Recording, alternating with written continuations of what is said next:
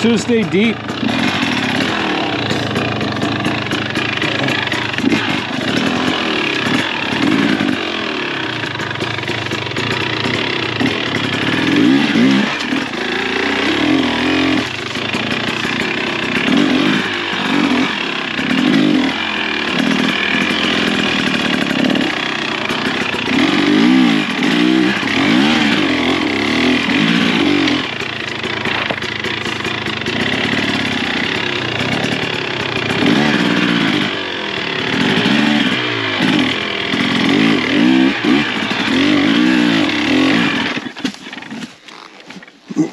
Oh, I'm up against a tree.